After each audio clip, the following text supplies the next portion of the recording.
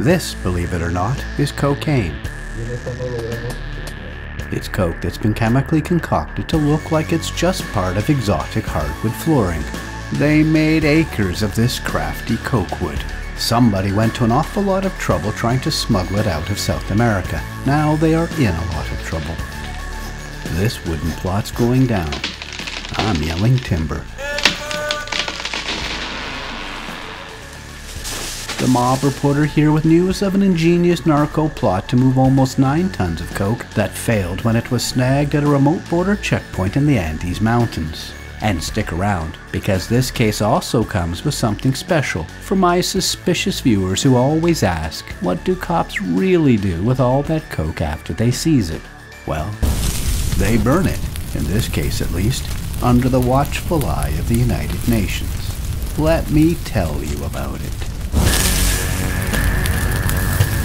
It was New Year's Eve, December 31st, 2023, when the dope was found, cleverly hidden in a shipment of wooden floor tiles.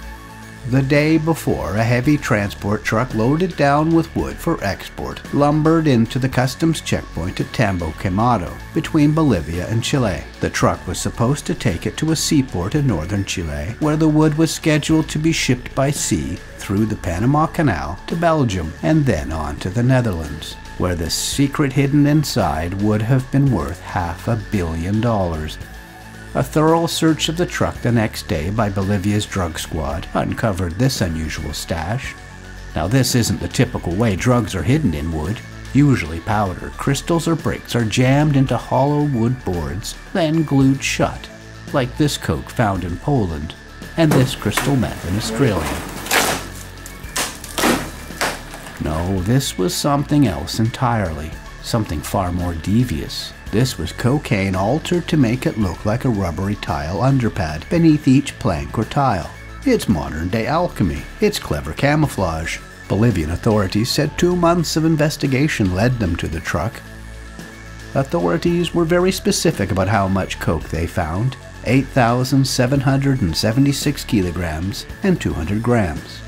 I asked them to clarify this was the weight of only the drugs and not the weight including the wood. They said the entire cargo weighed 22 tons, of which 8.7 tons were found to be coke. That's close to 40% of the entire weight.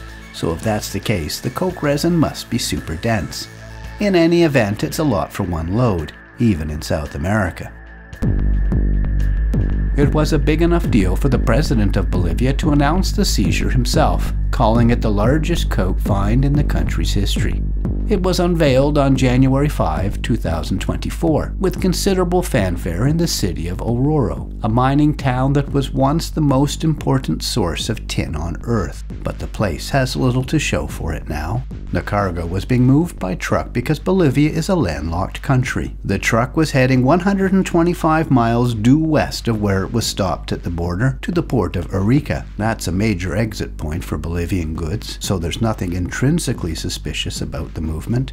Six men were identified as suspects, four were arrested after nine police raids, and four properties were seized in various cities. The accused were paraded alongside the wood and coke stacks. Three are Bolivian and one Colombian. The Colombian was the main guy, authorities allege, responsible for mixing the cocaine into its unique form. He was described as an engineer who specializes in resins. He was called the Big Shot among those arrested. Under arrest alongside him were the truck driver, the alleged owner of the shipment, and the owner of the Bolivian Wood Export Company. That's this guy. Here he is in happier times, advertising his company's exotic hardwood products doors and floors, specializing in exotic woods indigenous to South America. Some of them look gorgeous. Just a few months before his arrest, he was enthusiastically promoting his company on a TV show, seen here.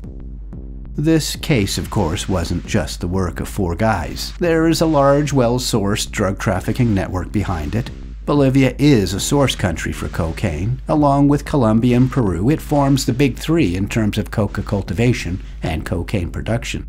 The government didn't want all that tempting dope hanging around long. Just four days after announcing the stunning find, they hauled it to a remote field in a mountainous suburb, stacked it all up again, and torched it to the ground. It was carefully orchestrated and monitored.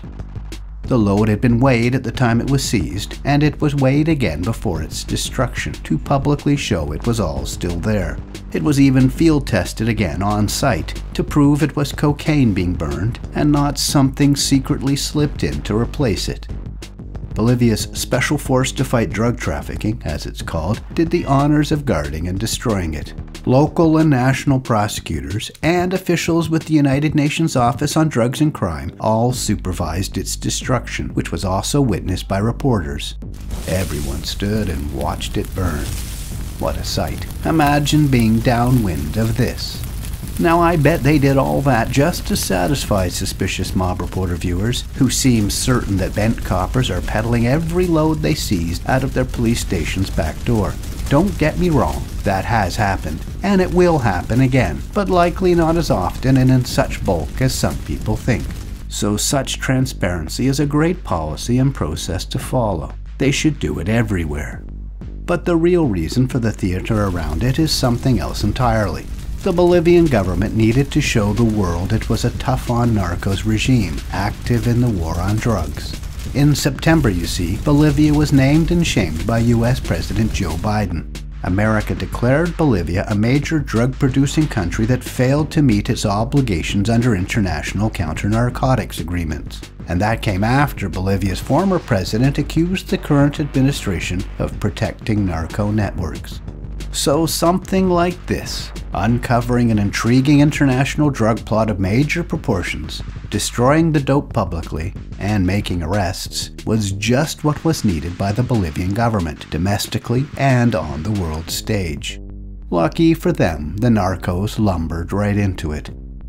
Please make sure you're subscribed to my channel and notifications are turned to all. That gives you the best chance of catching every episode give this video a like, and please leave a comment. And thanks for watching to the end.